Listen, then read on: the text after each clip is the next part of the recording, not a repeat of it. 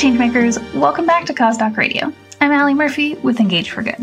You're in for a fun, insightful, and inspiring podcast today. But let's start with the not so inspiring. We live in a world where excess and consumption have never been higher, yet millions of people find themselves in critical need every day.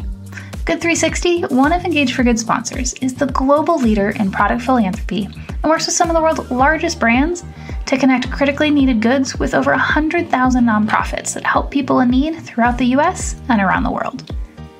In just a moment, I'll be joined by Shari Rudolph, Good 360's Chief Development Officer and CMO, to explore the lessons they've learned, Shari's advice for nonprofits and companies alike, and ways to accurately identify and support community needs. You'll also learn about ways companies can get involved even if they don't have a product how to mitigate a second disaster, and the importance of being outcome focused instead of impact focused. And with that, let's get started.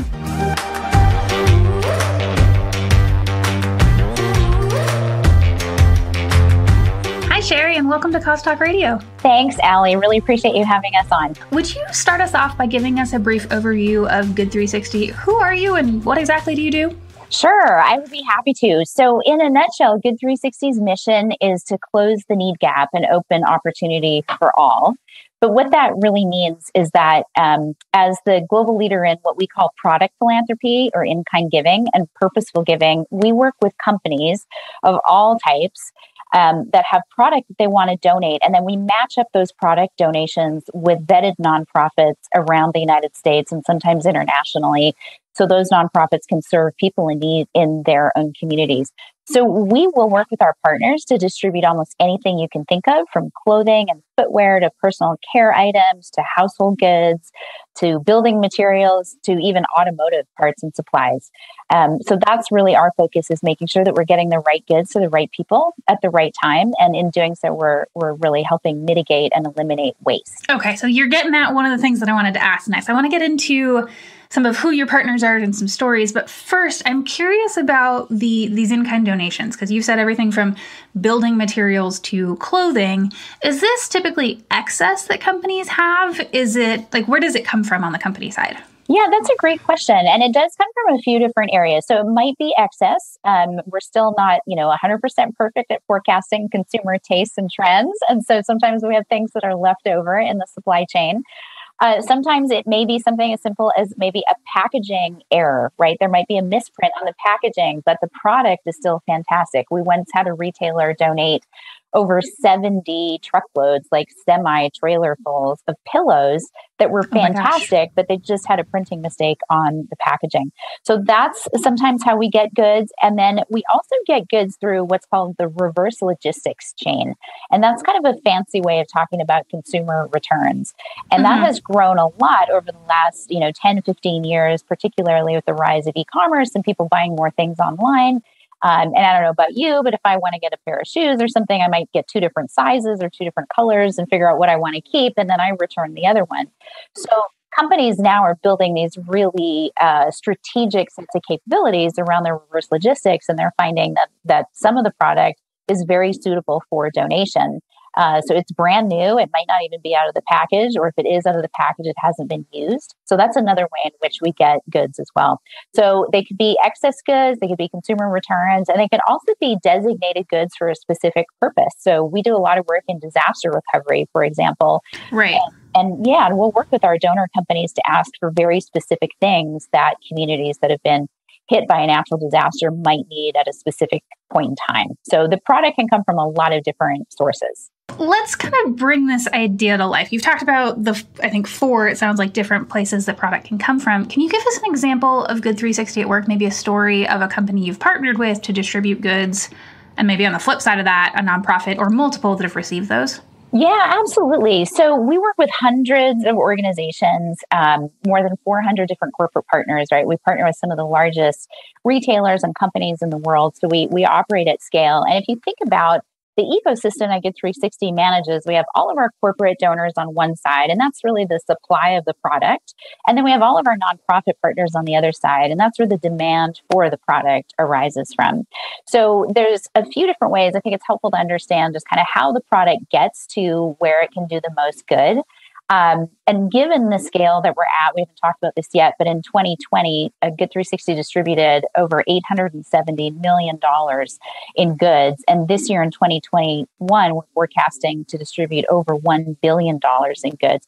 So yeah, so it's significant scale, and we have to do a lot of work to make sure that we're getting goods, like I said, to the right people at the right time, but also in the right configurations. So, with a, when a nonprofit requests donated goods from us, they can request them from just a single carton of shampoo or a single carton of clothing to serve a community in need, or they can request much bigger volumes all the way up to full semi truckloads full of goods in different categories depending on how they serve their communities and what the needs are in those particular communities. Um, so there's a lot of complexity in moving that amount of goods around the country and sometimes internationally to meet people where they're at in their communities and make sure that we're filling those needs. Um, as I said, we work with hundreds of different companies. We work with companies like Amazon and Walmart. The UPS Foundation is a big partner for us in helping with um, shipping support. For example, we work with Nike and Mattel, hundreds of different brands and retailers and companies um, that work with us to when they have either, like I said, excess goods or specific goods to serve a specific community that we can get into the hands of people in need. So, one of my favorite stories from actually last year during COVID was um, working with Nike. Nike had developed a specific shoe called the Nike Air Zoom Pulse. Um, and this was a, a, shoe specifically designed for frontline healthcare workers. So the, the, the cushioning in it, the an, antimicrobial um, features of it, the it was easy to wash and clean, right? So all of these different features um, that made it the perfect shoe for frontline healthcare workers. And of course, last year and still now, our system is under so much strain and so are, are the heroes that work on the front lines of the healthcare system. And so Nike turned to us to help distribute 30,000 pairs of those specialty shoes, as well as um, close to 100,000 pairs of compression socks, because these folks are obviously on their feet all day as well so that was that's an example of where we have a really specific relationship and we were nike was able to tap into the strength of our network um, make sure that we could help them get those goods where they wanted them to go and where they would where they would do the most the most good. Um, another example actually last year we had um, we work with a lot of companies, like I said, but in 2020, a couple of our most meaningful partnerships that emerged, new partnerships, were actually with other nonprofits, other NGOs. And one of the programs we're really proud of is work that we do with Toys for Tots. So um, the Marine Foundation, Toys for Tots, obviously does a lot of incredible work in the holiday season every year. And they're very well known for the toy drives and the distribution of toys for um, underprivileged kids or kids that find themselves in vulnerable situations during that time of the year. But they didn't have the infrastructure and the operations to be able to distribute toys at other times of the year. So when COVID hit, everything shut down, schools were shut down, kids were at home. Toys for Tots turned to us and said, you know, how can we work together to get toys in the hands of kids during this really, really challenging time um, outside the holiday season?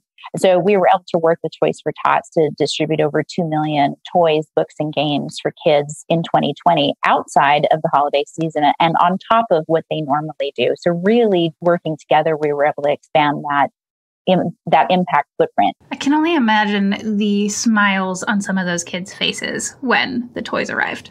It's it's incredible. I mean, we there was a story actually from the work that we did with Toys for Tots this year that I think there was not a dry eye among us when we Aww. heard about how this came about. And it was um, there was a nonprofit doing d- a door to door distribution, taking toys through this partnership to families at their homes. And just the coincidence of timing, they happened to ring a doorbell on a house where it was a child's birthday.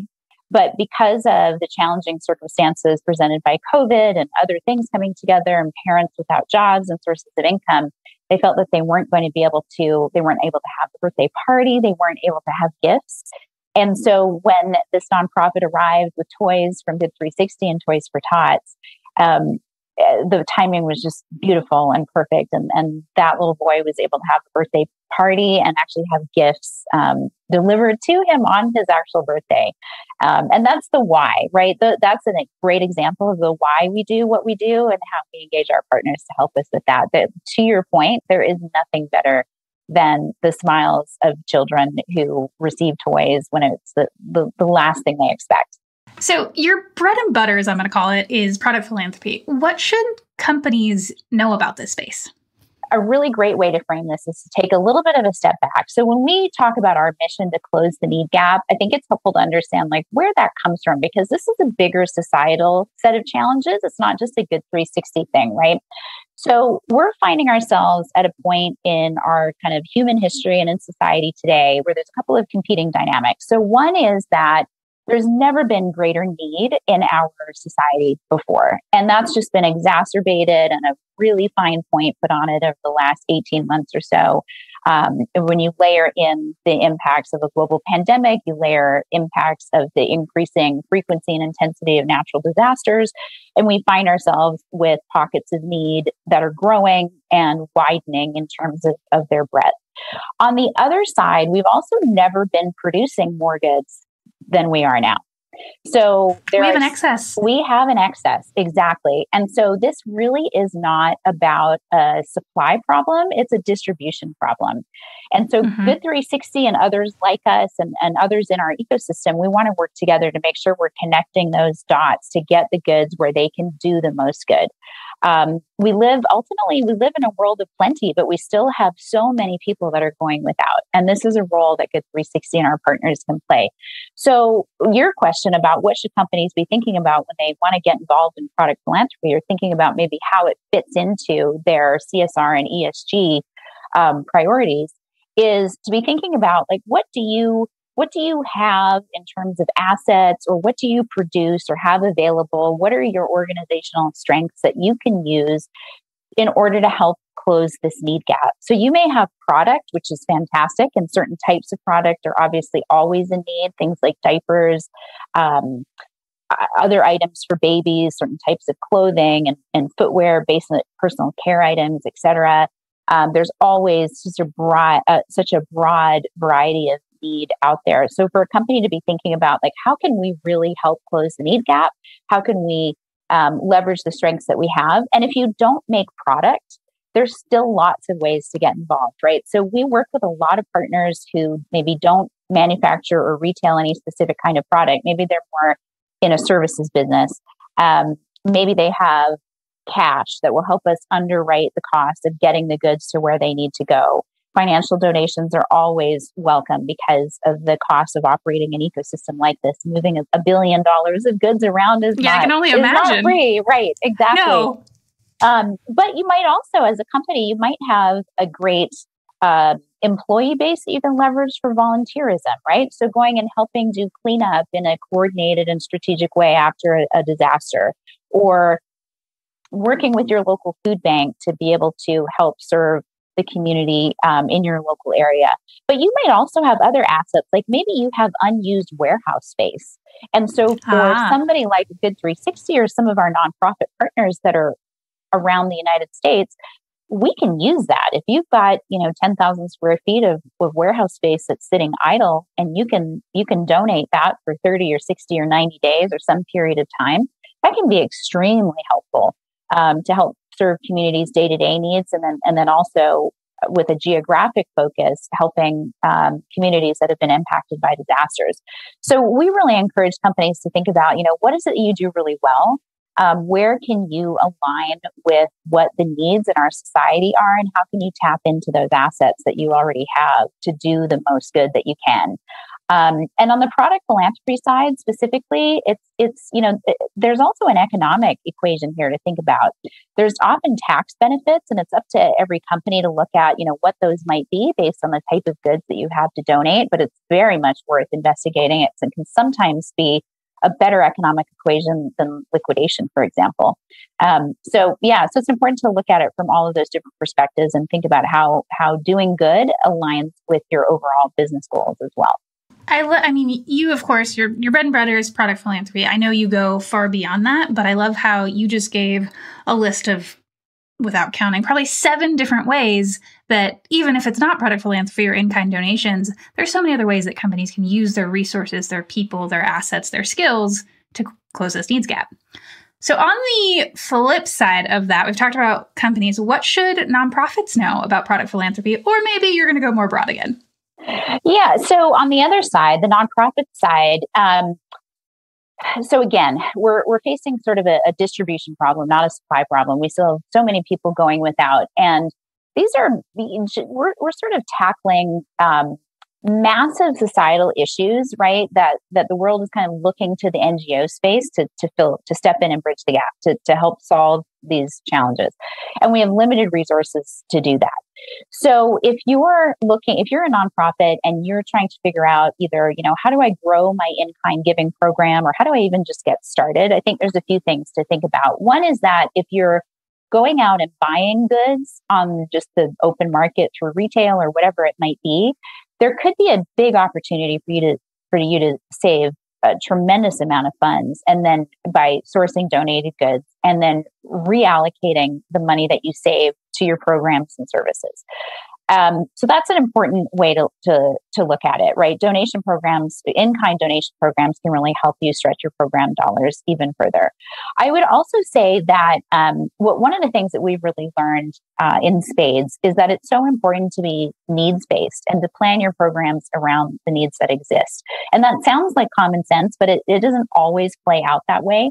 So I think advice for nonprofits is also understand what your community truly needs so that you're only sourcing what can be used and what will make the most impact um, in that community. And then, of course, uh, you know, by doing that, you're you're mitigating the risk of having waste if you get donated right. goods that you truly can't use. Um, for nonprofits who want to who want to start looking at this or maybe grow where they are, say you know start small and easy. It's really easy with with Good 360 and probably even with some of the partners that companies or I'm sorry that nonprofits have in their local communities to start really small with small kind of targeted requests for things that you know you can need, maybe for a specific program or for a specific initiative.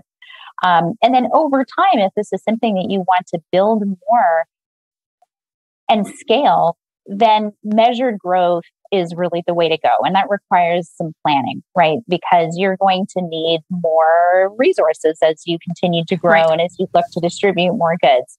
Um, you'll need maybe more volunteers or staff to receive the goods, to sort the goods, to configure them in a way in which they can be distributed to your community members. You might need more warehouse space. You might need some equipment like a forklift or a pallet jack or something along those lines.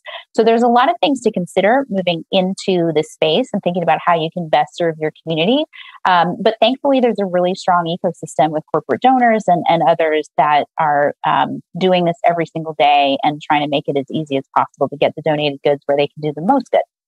As you already know, a good portion of our listeners work at companies, and you've talked about what they should know in this space or more broadly, but how have you specifically partnered with businesses in the past to help them reach their ESG goals? Great question. I think there's a couple of things that that bubble to the top here. So when you think about what we're doing, we're taking maybe it's excess goods, like I mentioned, or maybe specifically defined goods to serve a specific cause or um, target population.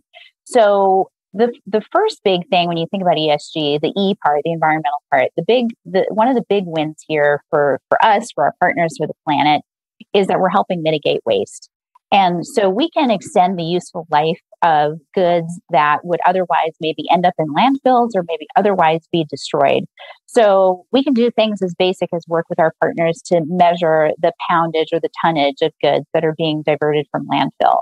And that becomes a really specific measure that companies can use as a as a measuring stick on how well they're doing and what progress they're making sort of quarter over quarter or year over year. Um, so that's a big one for us. Is sort of this, you know, let's make the planet a better place to live. Let's make sure that we're not wasting these perfectly good items that are out there and, and filling landfills with them.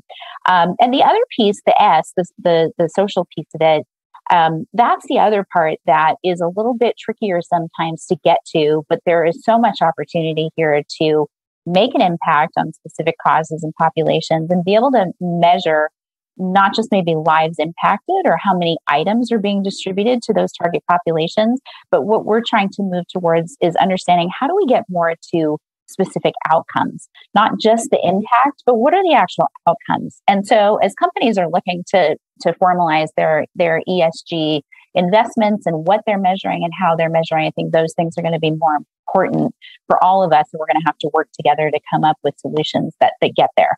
So there's a lot of stuff going on in the world right now, but I'm also a big fan of lessons learned. So what's something that you've tried that didn't work and what did you learn from that experience? That is such an excellent question. Um, and of course, we would like to say that we've everything we've tried has been great, but you're right. Everything is iterative, and we're on sort of a constant um, pursuit for improvement. And uh, one of the things that I can highlight that I think is a great lesson for all of us is in our disaster recovery work. So there's a couple of, when I joined Good 360 almost six years ago, there were a couple of industry statistics that just blew me away. And one of those was that at a, in, in a time of a natural disaster, about 60% or almost two thirds of goods that are donated go to waste they end up in landfills or they otherwise end up going to waste, right? And we've probably all seen those photos where uh, there's just bags of clothing on the side of a runway in Haiti after an earthquake, or somebody sends roller skates and prom dresses to an area after a natural disaster. And I'm well intentioned, but yes, and that's the thing. It's it is always well intentioned, but without sort of a connection to what's really needed on the ground. Then those well, those good intentions can turn into what we call the second disaster. Um, and you end up sending goods into areas and you clog up supply chains, you divert volunteers from the life saving and life preserving activities that they're doing. And now they have to figure out what to do with all of this stuff that nobody can use and, and nobody asked for it in the first place. Um, so we wanted to be part of the solution to that. And we, we tried to, we tried a few things like working with groups in disaster and where we ended up moving to was um, a core pillar of what we do is around pre-positioning. So we realized pretty quickly that when a disaster event happens, it's really hard to move stuff into an area at that point because infrastructure is compromised. Everybody else is trying to do stuff. It's hard to get access to shipping lanes, etc. Um, so we started, and this is you know something that a lot of our partners work with us to do. We started pre-positioning things that we know are going to be needed. It's just a matter of kind of when and where in strategic locations that are close to disaster vulnerable regions, um, but not too, too, vulnerable themselves. So, for example, we do some pre positioning in um, southern Alabama, and that's been really helpful for serving the Florida panhandle um, when we've had hurricane activity in those areas. And it may be things like um, disaster kits for families that have had to leave their their homes with nothing more than the clothes on their back, and so maybe it's a personal care kit with just toothpaste and shampoo and deodorant and those basic things, socks and underwear, those kinds of things. Um, but it, can also be pre-positioning things like PPE, masks and rubber boots and jumpsuits and things for the mucking and gutting that is going to have to start happening within a couple of weeks of, of a flooding event or a hurricane, for example. Um, so that's a big lesson for us that I, I, think we've we're really proud of. We've been able to sort of help move the needle a little bit. We're doing a bit of research right now, and we think we've actually within um, not just the work that we do, but all of our partners and everybody in this disaster recovery ecosystem, we've actually been able to change that 60% number. Um, we're gathering research right now, but early indicators point that, that it's a lot lower, that we're making an impact on that waste, which is fantastic. Well, you've shared so many nuggets of wisdom, and I'm I'm so excited to come back and listen to this again in the future. But we're coming to the end of our time, and one of my favorite questions to ask people is, "What's your favorite thing about working at Good 360?" Oh my gosh, that's so easy. It is definitely it is definitely our team. We have just a, an incredible team of professionals. We're about 57 people right now. So we're not very big in terms of the actual numbers, but we're so proud of the impact that we have. Um, everybody on the team is incredibly committed and passionate to our mission and wanting to make the world a better place and in whatever small or big way that we can do that together. Um, so yeah, that's that's that's that's that's an easy one. I feel like that was such a softball question. That's so it's it's such an easy one to answer. It's definitely our team. It's Just an incredible collection of individuals. It's a question I love asking because everybody's face lights up when you ask it. And they go, "Ooh, I've got an answer for this." Right? Is, exactly.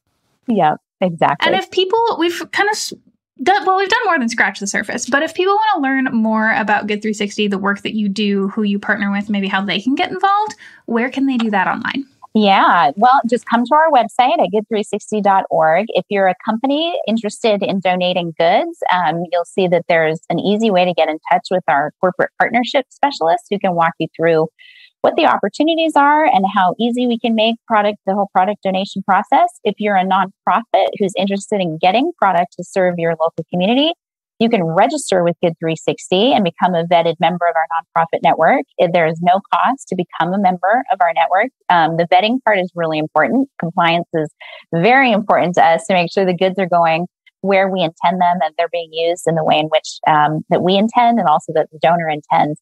And then finally, if you're an individual and you're just interested in learning a little bit more, perhaps supporting what we do, you can go to good360.org and we're always happy to welcome cash donations.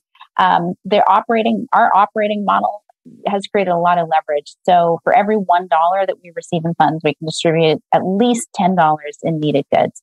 So there's a significant amount of efficiency and leverage there.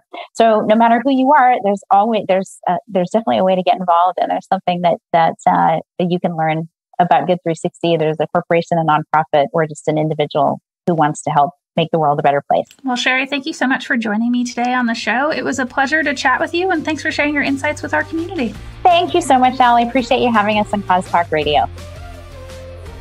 Cause Talk Radio is a production of Engage for Good in partnership with Transistor FM. Engineering by Pete Wright. Music this week by Zach Sorgan and Rex Banner. If your podcast app allows ratings and reviews, we hope you'll consider doing just that for our show. But the best thing you can do to support Cause Talk Radio is to simply share the show with a friend or colleague. Thank you for listening.